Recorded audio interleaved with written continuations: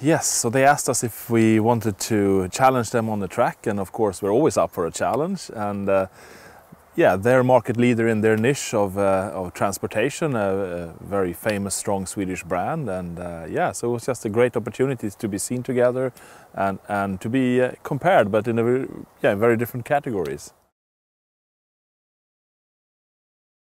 Right. Well, uh, it was a challenge because uh, uh, that, that truck is quite fast and, and going double the distance uh, was a really tough challenge. But we're quite confident uh, about what we do and what our car can do, so we were up for it.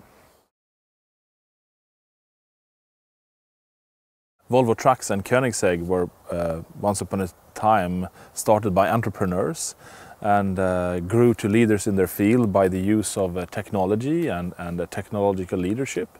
And we're both Swedish, so there are many uh, similarities, I would say.